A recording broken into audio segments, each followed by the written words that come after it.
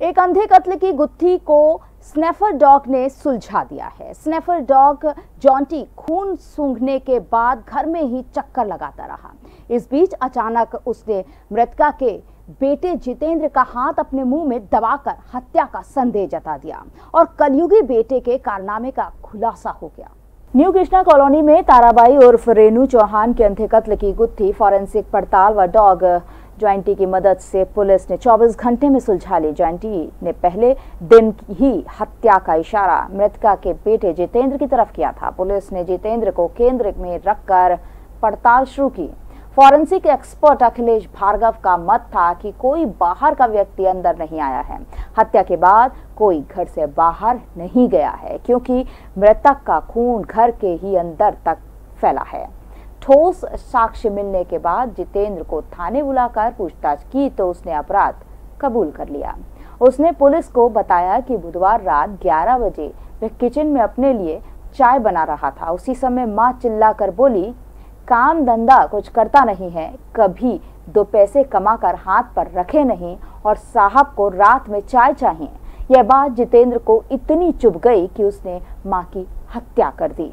उसने सोती माँ की कनपट्टी पर हथौड़े से प्रहार किया। इसके बाद फनर से उसका गला रेता और गर्दन पर पेचकस से भी कई वार किए थे। इसके बाद बाथरूम में जाकर कपड़े साफ़ किए और बाद में पत्नी के पास जाकर सो गया। ग्वालियर थाना क्षेत्र में न्यू कृष्णा कॉलोनी में एक लगभग 45 वर्षीय महिला की मृत शरीर उसके बिस्तर पर पड़ा हुआ था। उसके सिर पर गहरे घाव थे, जिसमें हत्या का मामला दर्ज किया गया। वहाँ पर जो सीएसपी बौड़ापुर हैं, ग्वालियर उनके द्वारा और साथ में पुलिस बल और एफएसएल की टीम द्वारा साक्ष्य संकलन किया गया, वैज्ञानिक साक्ष्य देखे गए, जिसके आधार पर यह शंका हुई कि कोई ज़रूर घर का अंदर का ही व्यक्ति हो सकता है।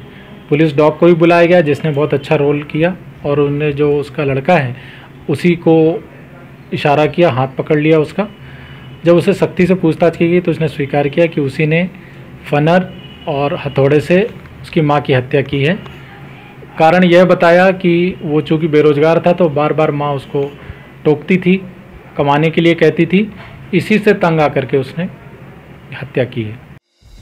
संगीत की स्वर लहरियों से सांस्कृतिक ताने बाने तक चंबल के पीड़ों से नक्सलवादियों के गढ़ तक झोपड़ी से महलों तक। ठेलों से मेलों तक।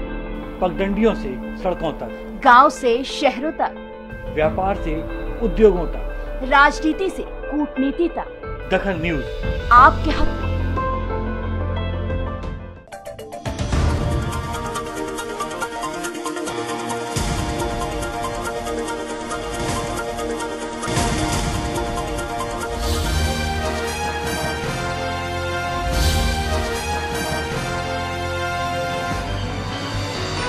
आप देख रहे हैं दखल न्यूज़।